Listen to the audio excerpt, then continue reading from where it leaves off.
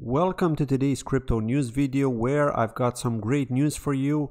Through all the FUD that we've been seeing in crypto lately, I mean, there's a lot of development going on, but I mean, FUD in the sense of the market, right? Prices crashing, things not working well, bridges being hacked, etc. We finally get some positive news, and that's in relation to the UK Prime Minister, the new UK Prime Minister. He's an ex finance minister. His name is Rishi Sunak. You've probably heard about him on the news already. Uh, but the idea here is that he's actually pro crypto. We're gonna talk what he's trying. To, we're gonna talk about what he's trying to do. Uh, so he plans to turn the country into an international hub for crypto. Let's let's talk about this article here.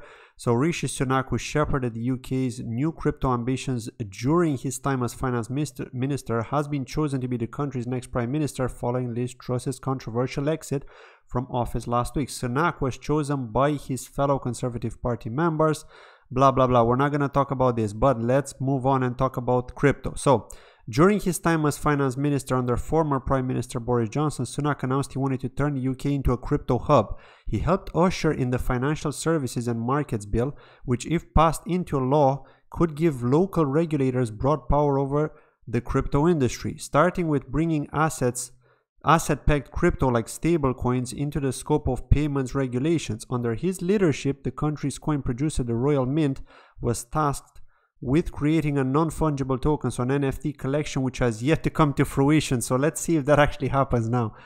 Uh, so Truss's government had expressed a commitment to Sunak's crypto plans, but her resignation threatened to shake things up once again. The local crypto industry, which had been in communication with Sunak over crypto policy during his tenure, as finance minister, stands to welcome his appointment as the leader of the government. Following the announcement of Sunak's appointment, Adam Jackson, Director of Policy at Innovative, Innovate Finance, a UK tech industry body that also advocates for crypto, called the former finance minister a champion of fintech. It's positive for it's a positive for crypto and the general economy. Ian Taylor, director of the industry lobby, a group Crypto UK told CoinDesk via WhatsApp. So this is awesome, right? I mean, we've yet to see what's going to happen in the UK with crypto, and I think it's it's opening the door to innovation, and that's always welcomed, right? If you're going to have blockchain tech, you're likely going to have crypto tech. Now, we may not be fans of stable coins, which is another thing, but at the end of the day, you got to look at the positives here. I mean, it opens the door to crypto. We are seeing a lot of crypto development. It's all about regulation. Now, once the regulation comes into place, and obviously not too much regulation because you don't want to over regulate this market, but just enough regulation to keep people safe at the end of the day because you don't want people to lose money with crypto scams, right? Who wants to lose money with crypto scams? Sure, it may be your fault for getting into that meme, uh, but uh, you know uh, why why should you lose money with it? There should be some sort of protection. So uh, we'll uh, we'll hopefully see more of those in the future. Now next i want to talk about the sui ecosystem. I have made an announcement on twitter that i will be covering the sui ecosystem also aptos and also celeria. So these are the ones that i'm going to talk about in the coming uh, for the remainder of this year in fact and sometime next year as well. Depends how long uh, if I don't see any potential in these ecosystems, although I highly doubt that they won't see, I think we will see potential. But if we don't, then of course I'm going to switch back to Polkadot only, uh, likely covering Cosmos as well. But for now, I want to focus on these new ecosystems and still cover some Polkadot content as well. So I'm not going to abandon Polkadot altogether. It's just not going to be full-time Polkadot, right? You are going to get more videos from me regarding Sui, regarding Aptos and Celeria, like I said. So uh, what do I want to look at? Well, the first thing I want to look at is the GameFi section. And then after that, I will be taking a look at the NFT one and then the DeFi one. So to me, the DeFi one is the least important because it's just an oversaturated market in my opinion. So I don't think it's worth covering that much, but you never know, there could be some gem there.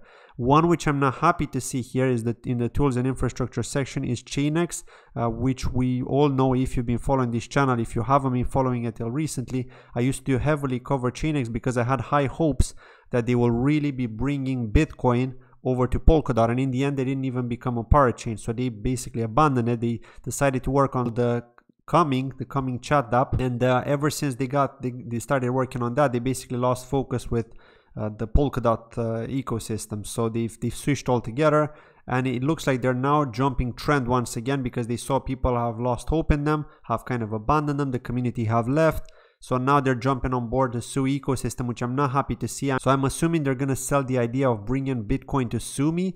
Which I don't even know if it's going to happen to be honest. Maybe it will, but yeah, I don't trust them anymore. So this is one I'm personally staying away from. That doesn't mean that there won't be other good ones here from this. So one which I've actually noticed here because just by scanning this, I mean, you, you kind of get the idea. This one is a joke, puke to earn, so I'm staying away from that. Uh, somebody made a joke on Twitter about that, that it's actually, it actually seems interesting, but it's just a joke NFT. Uh, but Rushdown Revolt is one I'm personally looking into right now and I will be talking a little bit about it. So as you can see, this is their website here. And the reason I'm bullish on this one, and I think it provides some potential, especially for gamers, is because you can actually play this game right now uh, if you're on Steam. Gamers know that if you if you're registered on Steam, you can actually play a lot of these games, right? So the idea is that this game is going to use NFT technology. You can own these characters and obviously objects inside the game, and uh, you can use that technology, the NFT technology, on um, on the Sui ecosystem, okay? Because, I mean, if you think about it, there are going to be a lot of projects. The BlueMove, for example, is an NFT marketplace, right? And this is the biggest one on Sui. Right now, if you want to get some testnet Sui tokens or Sui coins, uh, from the testnet because we're assuming that maybe they're going to give us some airdrop like we've seen with Aptos, then the best way to do it without having to go to Discord is to go to the Bluemove website, click on the Sui faucet after you connect your wallet and you instantly get 50 million coins straight in your wallet and you can even mint an NFT instantly through Bluemove. So it is a good marketplace and I will be talking about that in depth in a different video. Uh, but uh, yeah, like I said, Rushdown Revolt to me, it seems like the best one out of the gaming section, at least so far but we'll uh, we'll see how things go. Of course, we need to monitor the other ones and see what's there. And uh, I will be taking a look at the NFT section after. But uh, of course, Blue Move is one worth watching as well, keeping an eye on because this is supposed to be the biggest NFT marketplace on Sui. Still in development, so it's still the early days, but we'll have to see how things progress. And remember, don't turn a blind eye to any ecosystem because you never know where that next gem is going to come out of. Thank you for watching, and I'll see you in the next video. Bye bye.